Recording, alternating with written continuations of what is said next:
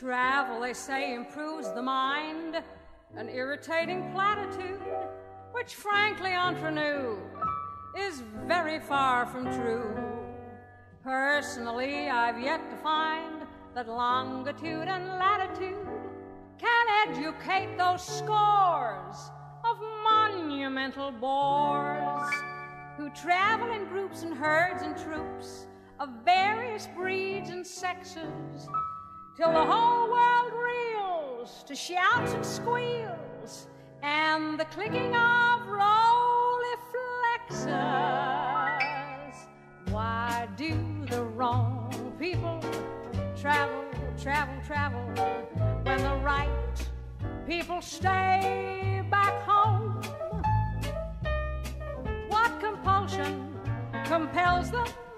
And who the hell tells them to drag their cans to Zanzibar instead of staying quietly in Omaha? The Taj Mahal and the Grand Canal and the sunny French Riviera would be less oppressed if the Middle West would settle for somewhere rather nearer.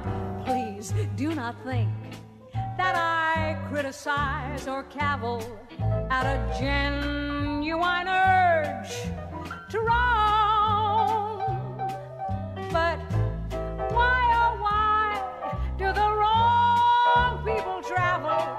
when the right people stay back home and mind their business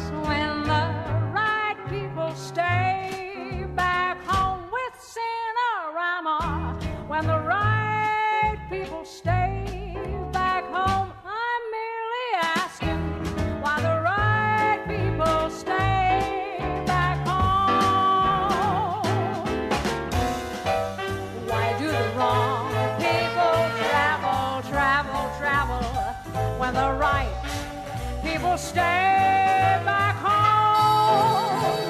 What peculiar obsessions inspire those processions of families from Houston takes all those cameras around their necks. They will take a train or an aeroplane for an hour on the Costa Brava, and they'll see Pompeii on the only day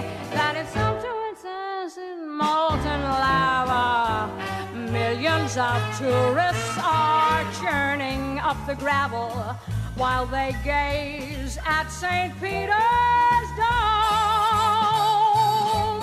But why, oh, why do the wrong people travel when the right people stay back home? with all that Kleenex when the right people stay back home with dear when the right people stay.